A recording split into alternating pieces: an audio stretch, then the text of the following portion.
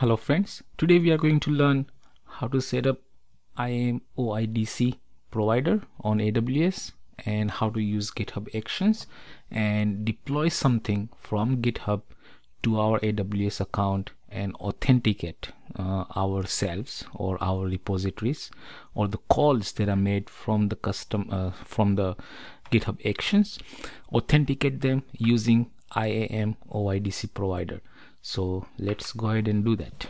So before we move forward let's spend a couple of minutes to understand what is an IAM OIDC identity provider.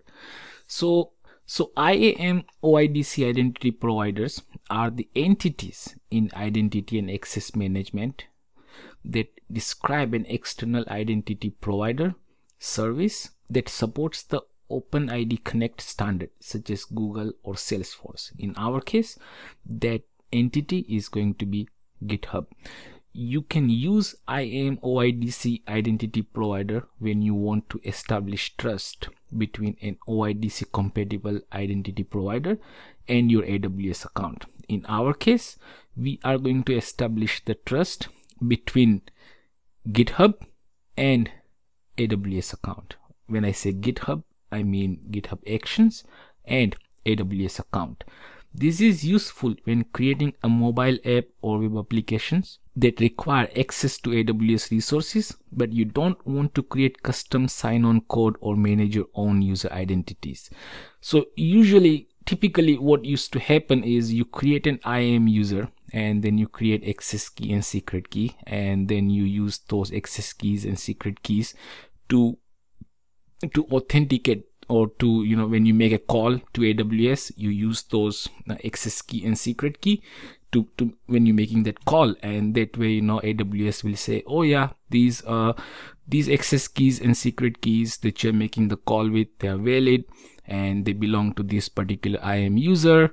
This particular iam user has you know uh blah blah blah permissions to do that to do whatever you're trying to do and it will allow you to do that. And if you do if those permissions or, or whatever you're trying to do if the IAM user does not have those permissions you of course you know you get an an error saying you know you are not you don't have uh, you you are not supposed to you know you're you're you are not authorized to do that. But the problem was that these access keys and secret keys they're risky right? I mean they can get leaked and when you change you have to go and change those access keys and secret keys everywhere that you use. You know it's a mess right? So what we can do here is we can actually create an IAM role and we can say that you know uh, this IAM role can be assumed by a GitHub action by by this GitHub repository and these are the permissions that you know are associated with this you know uh, to this IAM role. That way if something goes wrong we don't have to worry about rotating the access keys and secret keys. We can re-establish the trust create a new IAM role. We can re-establish the trust and we can you know uh, get rid of the old account. So based on you know um, based on the security you know least privilege that is the best practice to do that. So uh, that is exactly what we are trying to we are going to do. So uh, hang tight and let's get on some hands-on work and see how we can do our uh, how we can authenticate github actions and you know deploy something from our github repository make the workflows call our aws account and you know uh, deploy some stuff. So let's do that.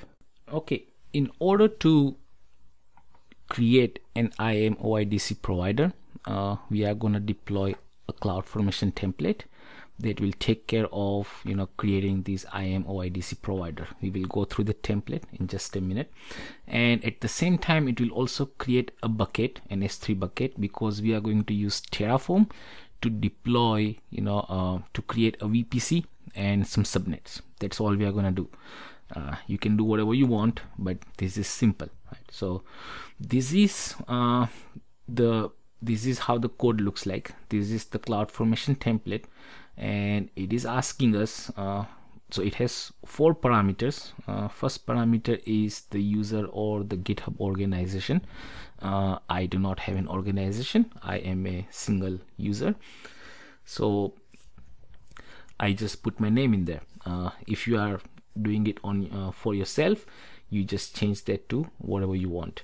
Uh, second thing is the repository name. So this is important. Uh, you have to provide the correct repository name which should you have to provide the correct repository name because what is going to happen is this IAM role will only be able to assumed by these particular repositories GitHub actions. So if you provide the wrong repository name here and if you deploy everything and if things don't work, most probably it's because your, your your your trust is not properly set up. So make sure that you put the correct repository name here.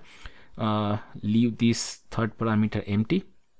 And the fourth parameter uh, is going to be the audience supplied by configurable. Audience supplied to configure AWS credentials uh, that will be sts.amazonaws.com uh, next let's look at the condition so this condition says that you know create an IAM OIDC provider if the ARN of the IAM ID, OIDC provider ARN is empty. Uh, that's what we want. In the resources, uh, first thing we are gonna do is we are gonna create an IAM role.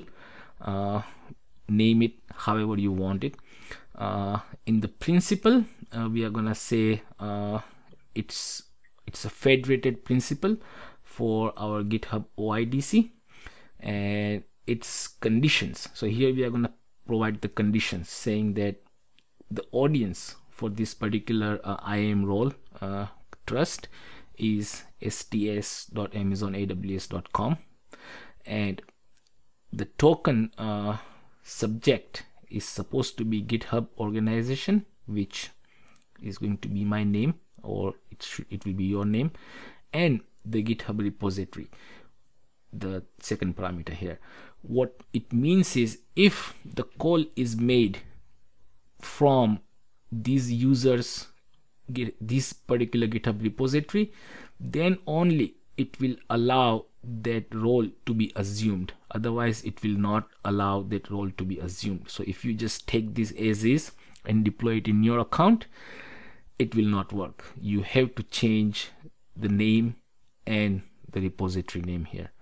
And then you provide the the access that how whatever access you want that particular account uh, IAM role to have. Uh, in our case we are gonna give it administrator access but you can you know narrow it down to however many permissions you want to give it.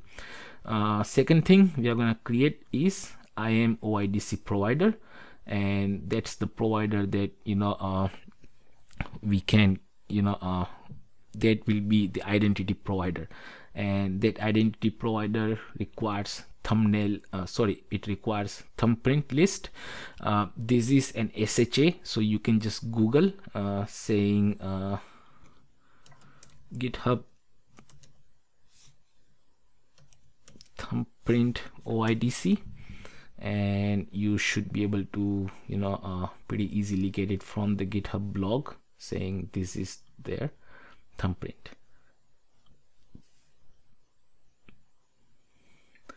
And then we are going to create a bucket. Uh, this bucket is is the one that we are going to use to save our uh, state files for the terraform. So make sure that you name it properly. Uh, i have named it the way i liked it but feel free to name it the way you want it.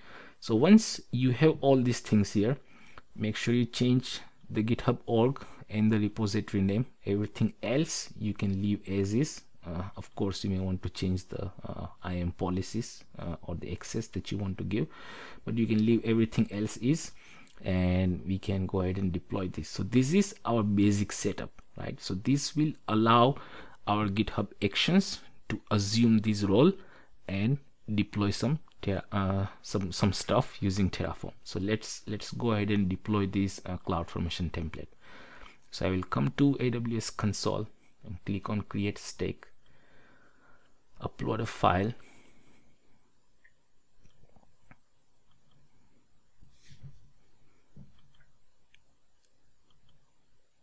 Go to base CloudFormation and base.yaml click on open click next. Give it some name. Uh, base setup. Make sure everything looks good. Click next. Click next. Yes click submit.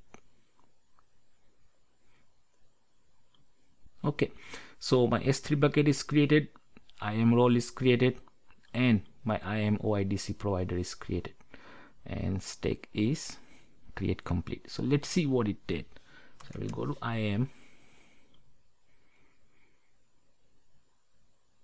and the first thing we are going to look at is identity providers. So you can see that we have one identity provider we just created. tokens.actions.github click on it. And you can see that this is the same uh, thumbprint that we provided. This is the audience. And now let's go ahead and look at the IAM roles. And we named our IAM role as GitHub Actions role. Let's put it in there. And you can see that it has administrator access but let's look at the trust policy. So it says that allow this identity provider this IAM role to be trusted only by this repo. So only this particular repository will be able to access it not anywhere else. So if somebody else let's say figures out that this is what your IAM role looks like and they try to assume it it is not going to work for them because this is where we are specifying the condition. So that looks good. Uh, next thing is we are going to create uh, our github actions. So let's go ahead and do that. Okay now let's go ahead and see what our code looks like. So our code is very simple uh, we have some terraform templates. Actually we only have one terraform template which deploys a vpc and it deploys four subnets two public two private and it creates an ssm parameter. That's very simple. Uh, here is our providers. So this is our aws provider. We are going to save our uh, state files for terraform on s3 this is the bucket name for the s3 this is the key.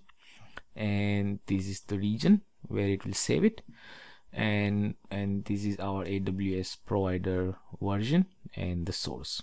Pretty simple stuff. Uh, these are the variables for our terraform uh, template. And these are the variable uh, values for the terraform template. Pretty basic uh, normal stuff. Now let's see how do we create these workflows in github which are the actions right? So we have two workflows uh, vpc ci dev create and vpc ci dev destroy. So create is a workflow that will be executed on the dev branch and it will only trigger if we make any changes to the files which reside in these folders. So if i make any changes to a file in the vpc folder or in the vpc slash dev which has all our parameters. If i make changes to any any file in these folders it will trigger the workflow. And this is the account number this is my account number so make sure you change it to your account number otherwise it is not going to work. Uh, and then we specify some default values for the shell and the working directory. And this is the permission uh, that we need to read the content. And this is our jobs. So our our job is deploy dev. Uh, it's gonna run on ubuntu.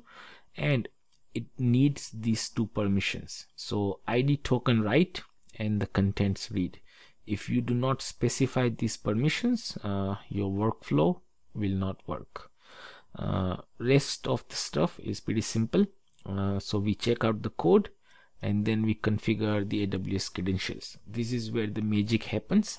So when we reach this step in the workflow, what it will do is it will try to assume the, this IAM role uh, that we have created uh, in uh, in the base template and it will because the way we have set up our temp our IAM role is that it can only be assumed by the repository and the user name and repository that I'm executing this workflow from.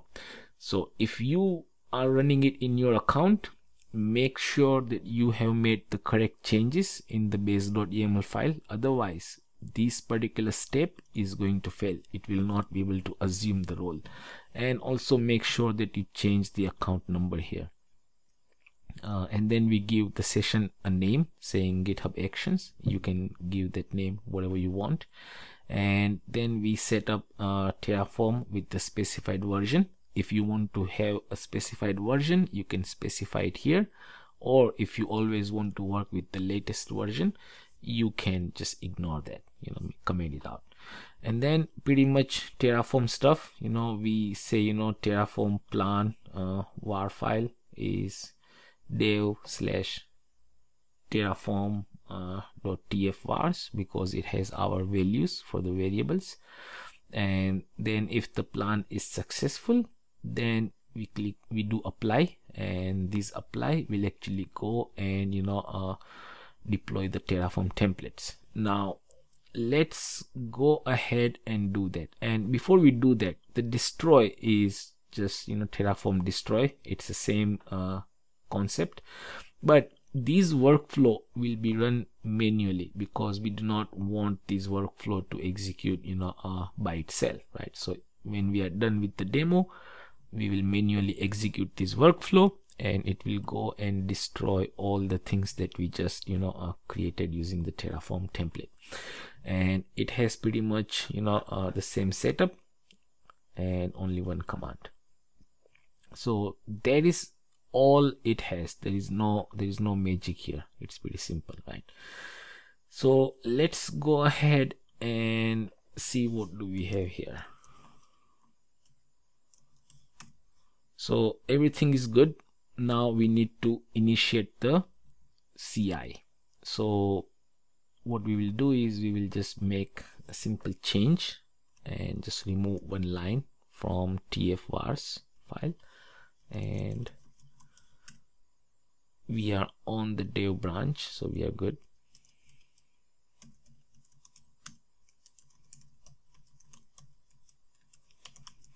Initiate CI push. Now remember because we we pushed the code in the dev branch and we made a change in in a file where our CI which our CI is monitoring which is inside dev because these two conditions are true if we go here and if we look at these actions we can see that it has actually initiated our uh, workflow. And if we click on it we should be able to see the logs and you can see that it is almost done. It has terraform plan. If you have a problem in configure AWS credentials, uh, this step, it means that either you have not set up your trust correctly or you have messed up the account number in the in the in the workflow file. So just check that out and our plan is good. And our terraform apply is good. So now if we go to vpc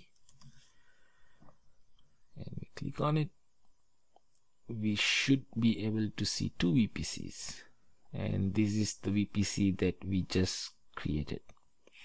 And what we will do now is we will go ahead and remove delete this VPC so remember we created two workflows. So if we come back to the actions we can see that VPC CI dev destroy. And we click on run workflow and we say run it. And it is going to refresh itself.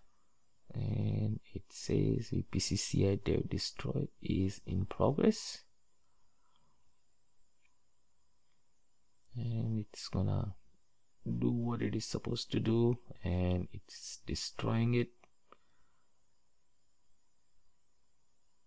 And you can see that it has destroyed our VPC so if I come here and refresh it it's gone. On the subnets that's just default subnets. So this way we do not have to create access keys and secret keys or anything and we can have our github actions authenticate to our aws account using the IAM OIDC provider. So let me know how this works and if you have any problems uh, feel free to uh, put it in the comments and I will see if I can you know help you out. So take care and good night